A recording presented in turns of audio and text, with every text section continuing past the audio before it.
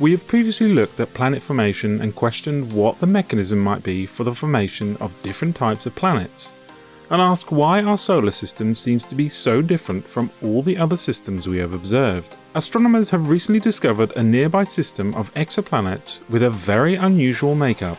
Let's dive in.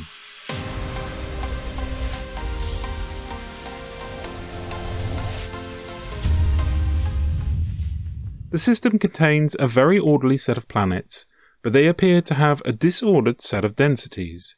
Five of the six planets orbit the star in a rare rhythmic dance called a resonance chain. What is strange about the system is how mixed up the planet types are. If we examine our solar system, we see the rocky planets are the closest to our star, and the less dense gas giants are further out. It is believed that gas giants start much closer to the star and migrate outwards and the rocky planets do the opposite. It is thought that given enough time, the system will shuffle the planets, making the most dense move inwards and the less dense ones outwards. Once this is reached, they will settle in a rhythm. It is thought that while these migrations take place, this will disrupt these rhythms and cause massive disruptions to the other planet rhythms, meaning it should not be possible to create a resonance chain until it settles down. The star at the center of this system is called TOI 178. It resides about 200 light years from Earth in the constellation of Sculptor. These planets were discovered using a combination of telescopes and satellites and using two different methods. The first method is looking at transits. Here the light from the star dips as exoplanets pass in front of it. The second method uses radial velocity. This looks at small changes in the redshift of the star caused by the planets pulling the star towards and away from us. From this, they discovered that the system contains six planets ranging from one the size of the Earth up to ones three times as big. The inner planets are also thought to be rocky super Earths, and the outer four are thought to be gaseous mini Neptunes. They also seem to be packed in much closer to the star than Earth is to the Sun, and they orbit at a much faster rate, the fastest being one of a few Earth days and the longest only a few months. When they started to examine the details of the orbits, they discovered something rather strange. The five outer planets are locked into a precise resonance chain. This means that they regularly align after the completion of an exact number of orbits. Starting from the star, the resonance chain is what they call 18, 9, 6, 4, 3. Every three orbits of the outer planet, the next one in has completed four the next 6, then 9, and the one closest to the star 18. The lead astronomer on the paper thinks that the orbits in the system are very well ordered and that this tells us that the system has evolved quite gently since its birth. The problem is that this order does not apply to the density of the planets.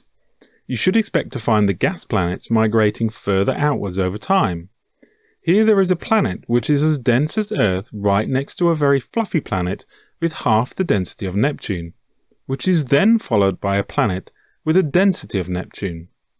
This is a problem for the model where the planets form from an accretion disk, as the interaction between the disk of the material and the planets should cause a sorting process during the formation, which should leave the larger gas planets further out and the rocky bodies close to the star.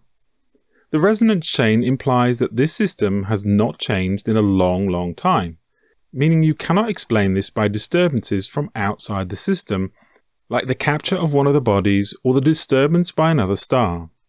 The astronomers admit that this system is not what they are used to. How these planets became so ordered, but with this haphazard configuration, is a complete mystery.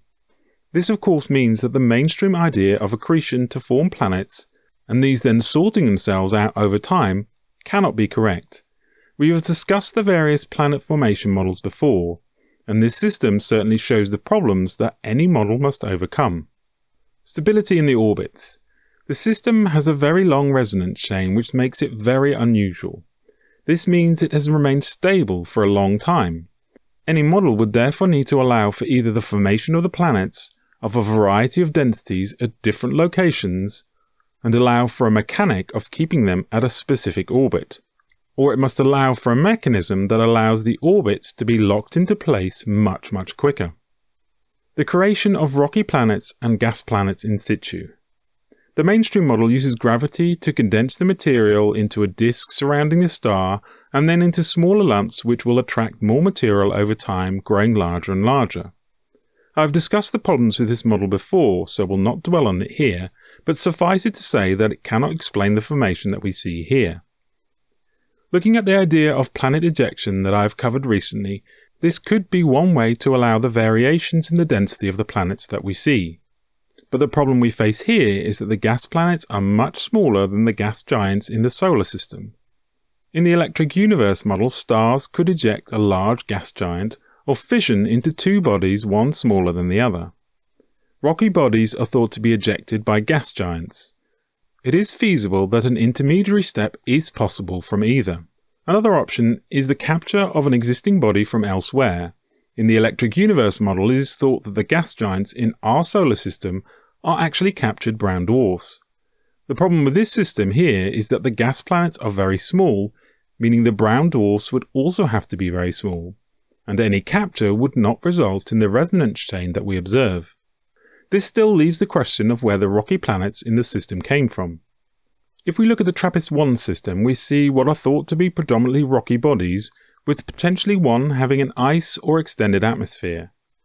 So how would these bodies have formed or been captured? There are no significant gas giants for an ejection process to have occurred, creating the rocky bodies. So did the star eject them? Or is some other process involved? Did the star create them when it was not a star? Was it part of another system as a gas giant and did it get ejected then and later become a star? The question then is at what point does something become a star? Are there limits to this in terms of size and composition? Assuming it was ejected from a star system, then as soon as it left the heliopause, it would be exposed to the stellar Birkeland current. Is this enough to fire it up? The spacing of the planets. This system and the TRAPPIST-1 system seem to be far more compressed and move at a much faster speed compared to our solar system. What determines where planets end up in their stable configuration? Why is it so much further apart in our solar system? Could the introduction of a large brown dwarf capture like Saturn cause the rearrangement of the orbits and force these to be much further apart? Is this system therefore more energetic afterwards, leading to larger orbits?